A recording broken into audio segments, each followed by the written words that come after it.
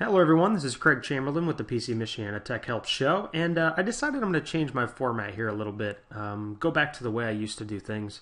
Uh, I'm going to do one series at a time. I notice my bouncing around tends to cause a lot more frustrations than it does help people. Uh, so I'm going to stick to the Gmail one for now, and I'm going to get through this one, and then I'm going to move on to probably uh, back to WordPress, and uh, we'll move on from there to a bunch of other things. Of course, I'll have something absolutely interesting crosses my mind in the process uh, then we're going to have to stop and do it. Now, as you guys know, uh, the Gmail service has lots of space, as I am showing you here right on the page. It has 7.6 gigabytes of free space right now when you register for this service. Now, you can actually convert that space into remote storage. This is one of my favorite tips that you can do. Uh, with the Google Gmail service, and it literally converts your email into a storage device that you can store all your files on. I used this all the time in college to store all my files and documents, uh, such as classes and I'm sorry, such as uh, homework assignments and projects, and uh, it worked absolutely incredible. So let's go ahead and get started on that. Uh, first thing you're going to want to do is go to my website. That's pcmichiana.com, p-c-m-i-c-h-i-a-n-a.com, and at the top you're going to want to select free downloads. Now I just added this download not five minutes ago, so uh, you're going to want to scroll down to the section under Office Tools and uh, you're going to look at the Google Gmail Drive free remote storage converter. Now you're going to want to download this. So I'm going to click on that and then uh, let's get this bad boy downloaded. As you can see I can click right here to download it and it'll redirect you to FileHippo which is a, a very reliable source and uh, then I'm just going to click download the latest version. And this is a very small program. So if I go ahead and uh, download this to my desktop, I'm going to click save and then I'm going to open it up and it even doesn't extract extract itself. So we're going to want to actually copy all these files over to our desktop.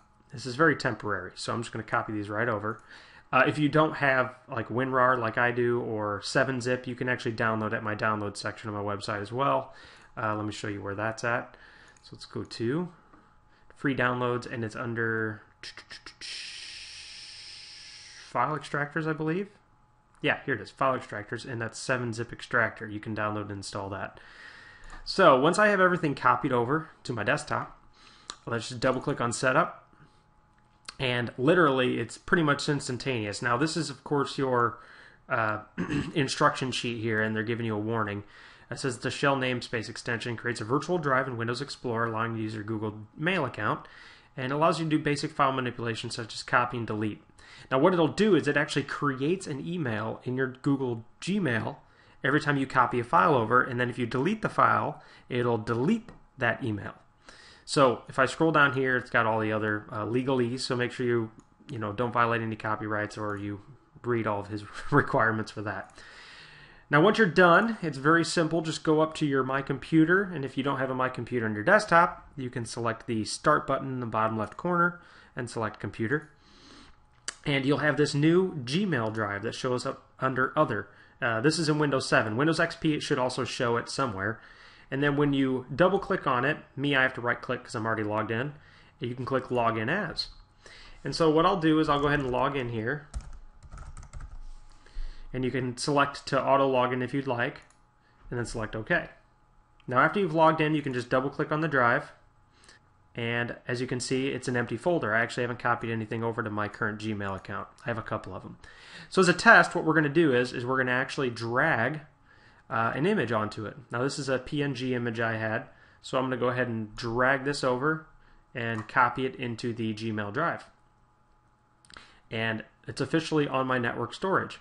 So now to double check it, I actually want to log into my Gmail. So let me go ahead and open up my email and I'm going to log in here.